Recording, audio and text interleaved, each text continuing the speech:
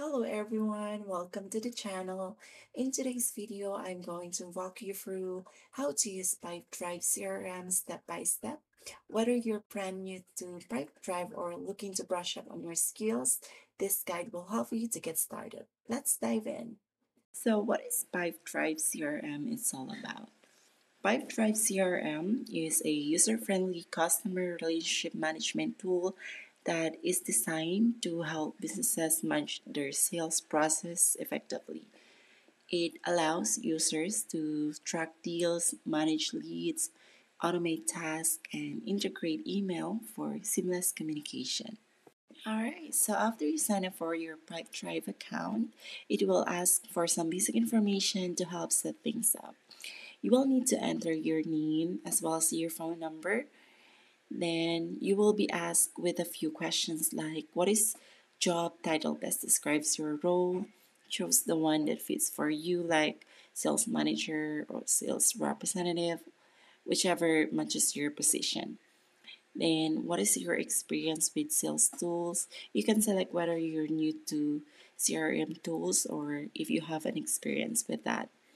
And what do you want to do first? Here you can decide if you want to add contacts or create deals or to set up your pipeline.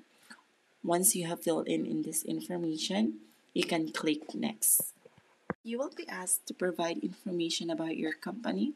From there, you can input your company name, how big is your company, your company industry, and lastly, how many people in your company will use it.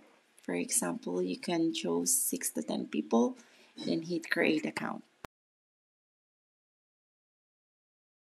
After creating an account, you will be directed to the dashboard. This is where you can see the overview of your pipeline and the pipeline houses of all your ongoing business interaction that we call deals. And there is a customized button. You can watch the full demo for more details. From here, you will see the list of all data. For example, for real estate, the qualified leads, the contact you made, property listed, showing schedules, negotiations started, and under contact. To add a new deal, click on the Add Deal button, fill out the key details like the deal name, the contact person, and value. You can also assign it to a pipeline stage, which represents um, where deal stands in your sales process. You will see a tab labeled campaigns near the right side of your navigation bar. This section is specifically designed for managing and sending out email marketing campaigns. You will enter the sales inbox, which is specifically designed to manage your email communication with leads and customers directly within Pipedrive.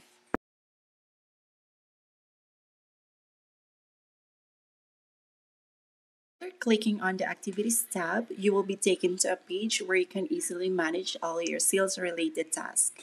Here, you will see different types of activities like calls, meetings, tasks, and deadlines. From this section, you can schedule new activities and link them to specific deals or contacts. Set them reminders to follow up as well. And you can keep track of what's already been completed. Click on the Contacts tab at the top of your screen. This will take you to a page where you can manage all of the people and companies you're working with.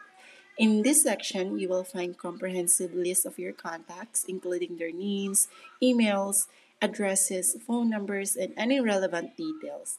You can easily search for specific contacts or filter your list based on categories. To add a new contact, just click on the Add Person button.